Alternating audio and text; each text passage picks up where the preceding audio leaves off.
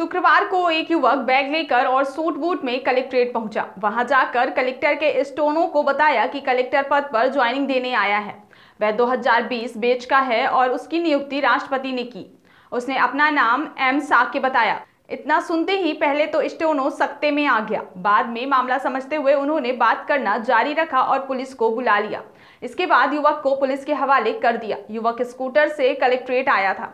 हालाँकि अभी तक यह पता नहीं चल सका है कि युवक कहाँ का है और कहाँ से आया है। पुलिस युवक को अपने साथ ले गई और अब उससे पूछताछ कर रही है।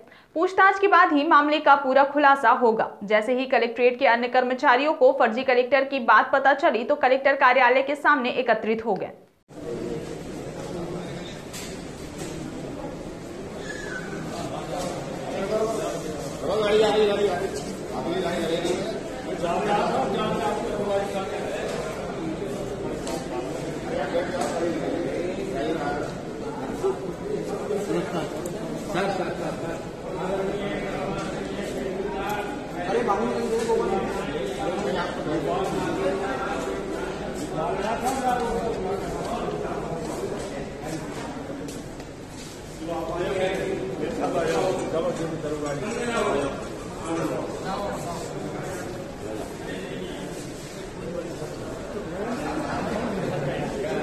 सर्व सुविधा युक्त नेशनल हॉस्पिटल समान तिराहा रीवा में।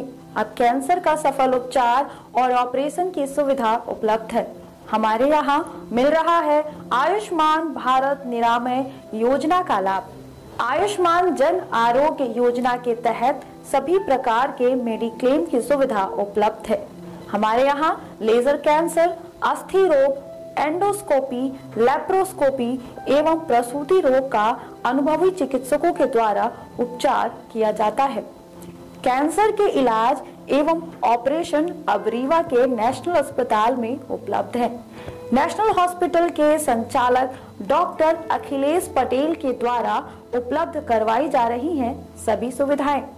आयुष्मान से संबंधित किसी भी प्रकार की जानकारी के लिए संपर्क करें।